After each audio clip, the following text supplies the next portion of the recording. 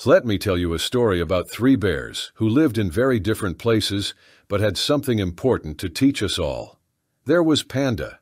Panda lived in a peaceful bamboo forest where all he did was munch on his favorite food, bamboo.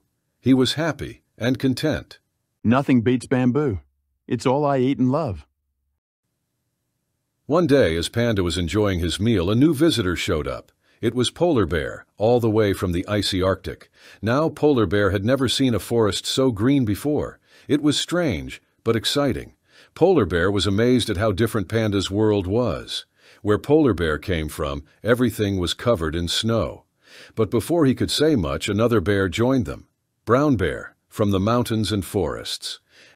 How do you handle the cold in the Arctic? Thick fur and plenty of fish. We've got glaciers and icy oceans as far as the eye can see. Where I live, there are rivers, forests, and mountains. Everything's just so wild.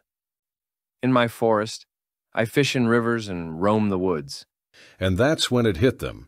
They were all unique, but their differences didn't make them any less connected. In fact, it made them stronger. We may come from different places, but we're still connected. Just because we live in different worlds doesn't mean we can't learn from one another. Each of us has our own way of living. Diversity makes the world richer. To acceptance and unity. And from that day on, the three bears knew that even though they came from different places, their differences made them special.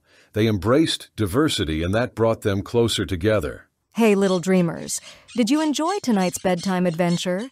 If you want more magical tales and exciting adventures, don't forget to hit that subscribe button.